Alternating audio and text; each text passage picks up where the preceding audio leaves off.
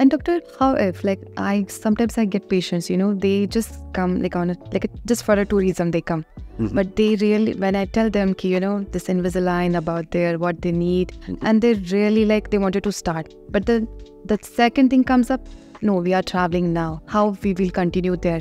So how about this, doctor? Again, we have had so many patients regarding the, Yeah. on this level, right? So the patient comes here, and uh, like you, as you said, the patient is here only for a few days. Yeah. So we can take the scan if the patient is really interested Mhm. to start with us. Um, we can take the scan, take the photos, uh, do the plan, get the aligners, and ship it to them.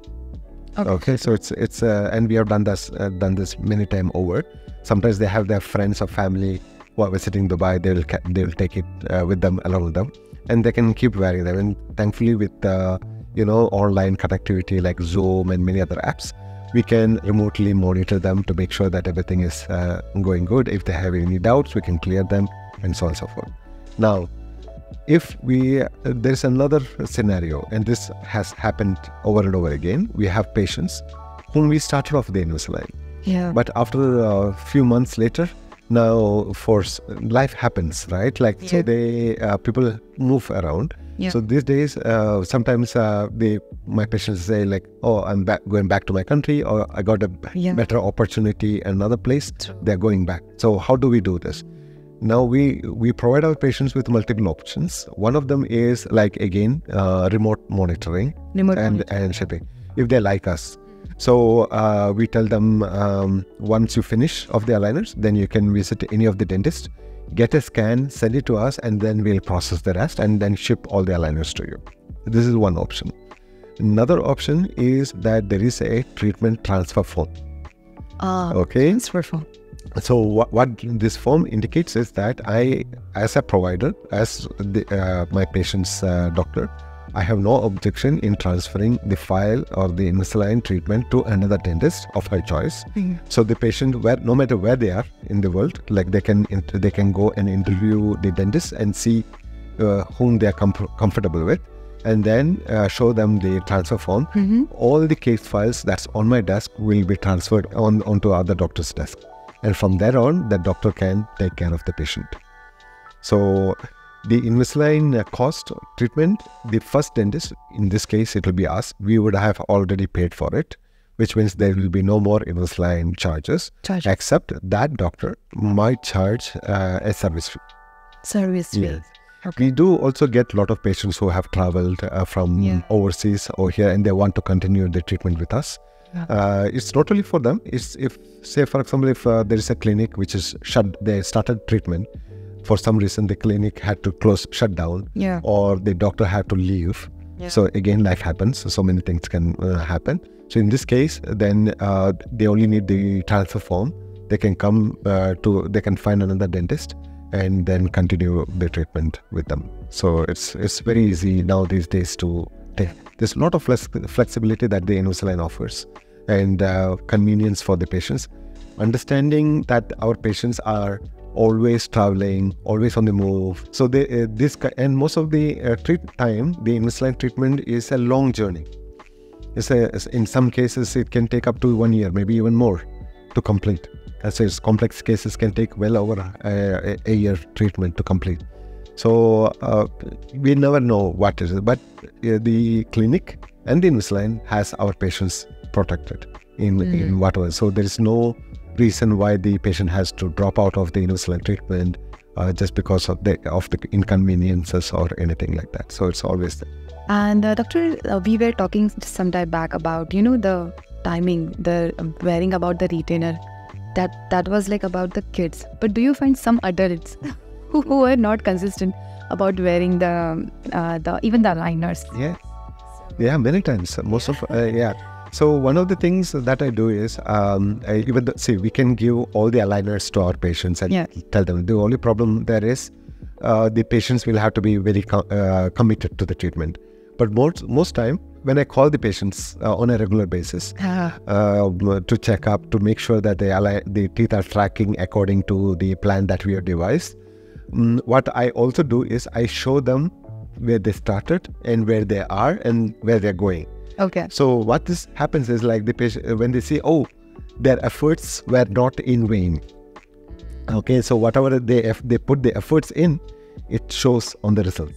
This should be some kind of motivation for the patients to keep going. Keep It is working Yeah. because the movements of the Invisalign is very subtle. It's very small. That when you keep looking at the mirror every day, you will not find them. You will not see them. But after uh, three months of Invisalign wear, and when I show them the journey from first to three months later, it's a huge leap. Then there's really oh, so much has happened. They didn't even uh, most of them d- uh, didn't even realize. Some of my patients, like uh, over a period of time, they tell like their friends or family or someone who has not seen them for a long time, they've noticed that some changes have happened. Yeah, so these are these are a few instances that has happened, but this also shows one more thing: how much of your smile is actually noticed by your friends, family members, and all that. Yeah. yeah. this is not from one patient. This is from many patients, right? So then I realized how many how many of your parents or your siblings or your friends actually know each and every corner of your smile, the gaps or the twisted tooth or angled teeth, everything. And uh, for the patients, it came as a surprise for them that they, they many people have noticed how the smile went like, and they forgot how they smile. you know. Until I showed them okay, this is how their teeth are from Yeah. before, and this is how they are now. And Okay. It was like a very funny experience for them. Like, oh my god, so much have changed. Uh, there has been also instances where uh, one of my patients, like, she did whitening and all that, and she, uh, her teeth are generally very good. So with a little bit of whitening, it looks like very nice, very beautiful. So she was having this uh, Zoom conversations uh, with her family and friends and you know multiple this one. And uh, uh, the fr- friends i think really one of the relatives said you did veneers. And she said no i didn't do veneers. I just did the Invisalign and there's white in my teeth. No no no you're lying. You did veneers. So Yeah. so she was uh, happy that they think that they are veneers but uh, it's uh, you know so that's how much people actually notice. Noted. yeah. So they and they were scolding her. Why did you veneers? You spoil your teeth and everything. Yeah. And she had tough time explaining that these are not veneers. This is my natural teeth. I didn't do anything. I just alignment. Nice. That's it. And and uh, believe it or not, it's not from one patient. It's from uh, few multiple patients who shared the same uh, kind of experience. So that's how many patients uh, have res- got good results. Excellent, much better than what I thought it would be. Now, always I tell my patients. So on the Invisalign, we can see their before and after. Yeah. Okay, so even before we start the treatment, we are showing them, okay, this is how you are, and this is how you are going to be. So we show them. Mm-hmm. But I also tell the patients, do not expect it to be 100% like this. You, it might be, you, we might get around 95, 90% to 95% correction. But there will be like 5% of areas that may not be correct. But patients accept it, right? They Yeah, true. but there are cases which actually surprise i mean surprise me as well like how beautifully uh, uh, finished Okay. really, like, perfectly and they all had one thing in common and that is the Invisalign wear they were very disciplined Oh. and they wore it on time Okay. uh, all the time and they were very dedicated to it so Yeah. that's it then i tell them that says it like it's and believe it or not these are the patients i didn't even need to do have to do any refinements for them Ah, I didn't I didn't have to give them any correctional aligners, any additional aligners for their align nothing. It's like Okay. we went directly to the retainers. I asked them, obviously I asked them patients like, do you want anything more correctional? They said, no, I'm very happy. Everything is perfect. They asked me, what do you think? Like, I'm like, I'm even more happier than you are here. That's perfect. So then we go in and uh, we do the retainers. So, mm, and this is what I tell my patients. The more you wear, the perfect the results will be. Now, Invisalign recommends 22 hours in a day. yeah. This is the highest, and uh, at least 20 hours, uh, 20 to 22 hours have to be worn to have it as perfect as possible. And the regular visits to the dentist to ensure that the teeth are tracking or progressing according to the care. Okay. But Invisalign does give some kind of flexibility. Say uh, you're wearing it 22 hours in a day, 20 hours, 22 hours in a day. But there is one such day that you are going for a uh, coffee meeting with your boss or your friends or someone, and you're not comfortable wearing them Yeah. because it's a it's a kind of a event place or something that you're and there's a co- constant snacking or something like that. for it's okay to uh, not to wear them for two hours or something. Enjoy your time, enjoy your events, come back in, and then put them on back on, and that's okay. And this is another, this is the beauty of Invisalign again compared to the braces. Braces you cannot remove them. Yeah. With this, you have the flexibility of okay, maybe for some time you can remove it, go enjoy your event, come back in and start uh, start again. That's okay.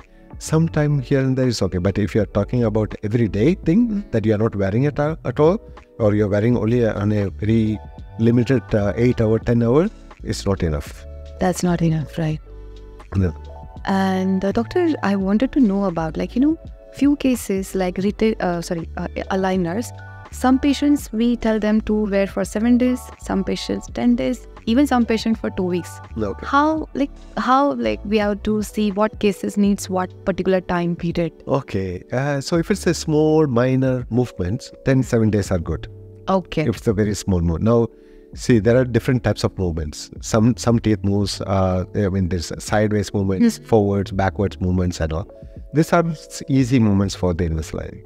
So this kind of movements uh, need very less or little effort from the Invisalign. So this can be seven days or ten days. I would not say seven days. Ten days is better. Ten. 10 days is better. better.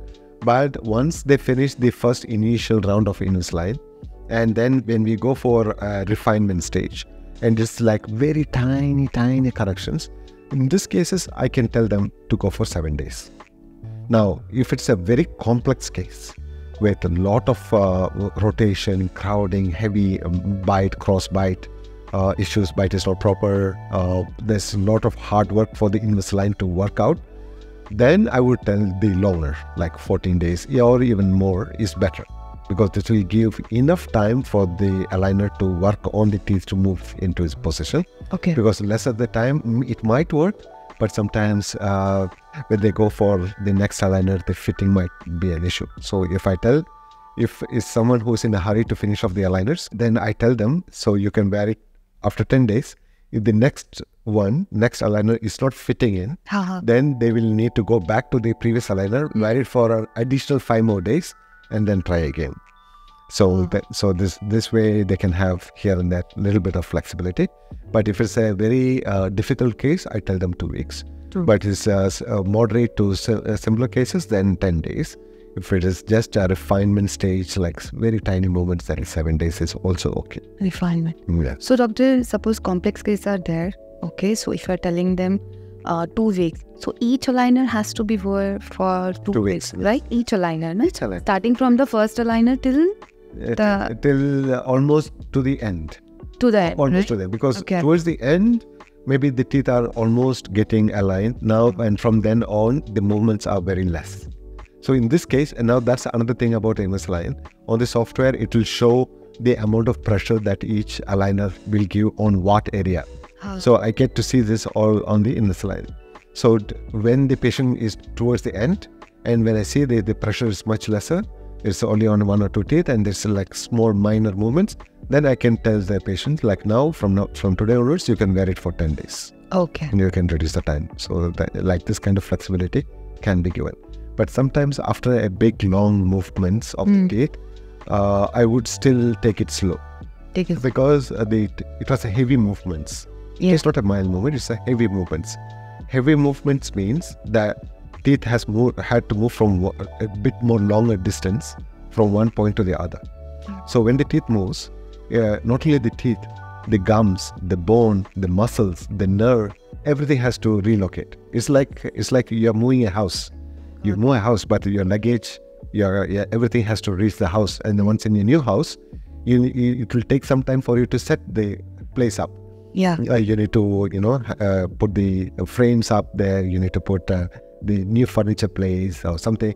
How long will it take to settle down in a new place? Maybe a two, few months two three months? True. the same thing happens with the teeth. With when the teeth. moves the whole of the uh, uh, you know the muscles the bone formation everything it takes time it takes uh, three months or more so if you are speeding it up at the end I, I would rather keep it as long as possible Mhm. in, in, in the, the tooth in the position so that the body our body knows that this is the new position of the tooth and then the bo- our body will start rebuilding new bone structure and everything around that root of the tooth. That's why sometimes during the process of Invisalign, during the process of uh, mm, uh, braces, you will see that the tooth has a mild mobility. I was just about to ask only, like, have you ever like found any tooth is little bit mobility after the heavy, you know, Yeah. force and uh, It's normal. it's normal, right? normal to It's have some- because there is Hmm. so once the tooth moves, Hmm. there is some kind of inflammation around the Yeah, okay Yeah. around the bone. The bone loosens up, and that's the only way the tooth can move. yeah. Okay, so the bone loosens up, Hmm. the tooth, uh, tooth moves, and it will take some time for the new bone to adapt to the roots. So it will till then the tooth can be a slightly bit wobbly, Okay. but nothing to worry about. It'll it'll get firm on its own. On its own. Uh, straightforward. There'll be no problems at all. Okay. But we should not play with it. Ah. So if you feel if you see that the tooth is moving and if you keep rocking and Oh. you're not allowing the tooth to be stable Stable. in the Right. position. Yes, this kind of Okay. So generally, doctor, how many days it takes for stabilizing? Uh, again it varies from people to people, age to age. A Ah. lot of a lot of concerns are there, right? For children, it is very fast. Correct. For adults, it will take longer. Okay. It could take maybe one month, one month, or maybe even three months uh, for it to be stable in its to become more and more stronger. Okay. But no more movements. If, it's, if there is a continuous movement, then it will still be wobbly. It will- the movement will only stop once all the active movements are done. Ah, And- active movement. Yeah, and the patient is on retainers. Retainers. So that will that is the one that will help the teeth to be stable in its new place. And doctor, what about? Uh, I wanted to know about refinement. We were talking about refinement. So each and every case requires refinement, or how? Oh, like I said before, if the patient is wearing the Invisalign on a, uh, a regular basis, Hmm. and uh, the, the result is uh, as we predicted to be, Hmm.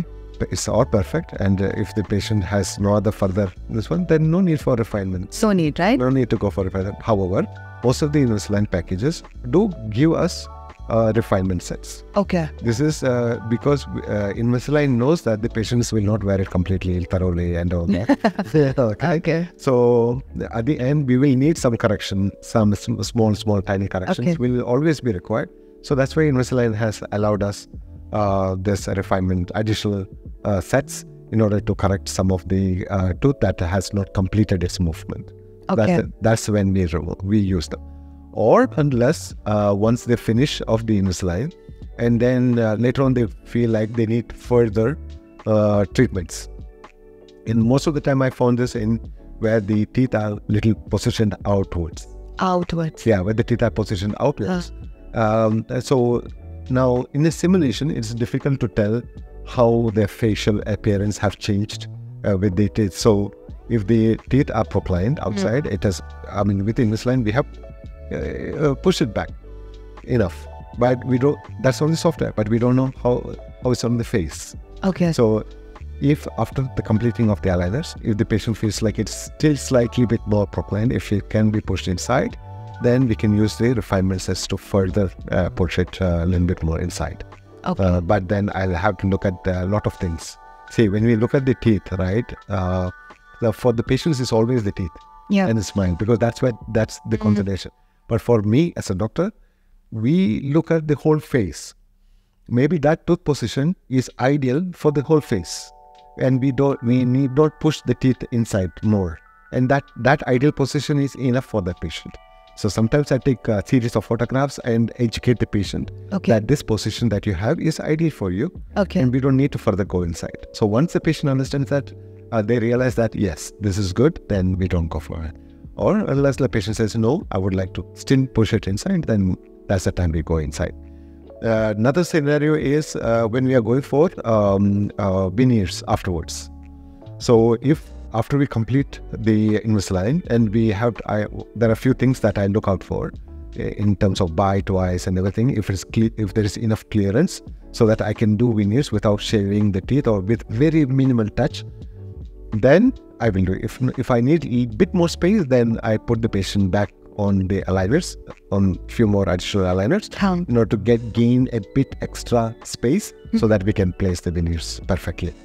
So this is another time that we use uh, uh, additional refinements. So there, there are again it depends on case to case basis and Okay. how, how we plan on it. uh, how we plan on the final position of the tooth.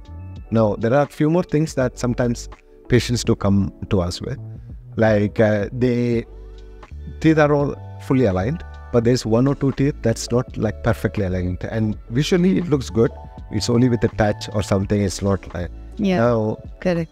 our teeth are not all the same shape. Hmm. Our teeth are not all in the same shape. Uh, some of the teeth are uh, thicker and thinner.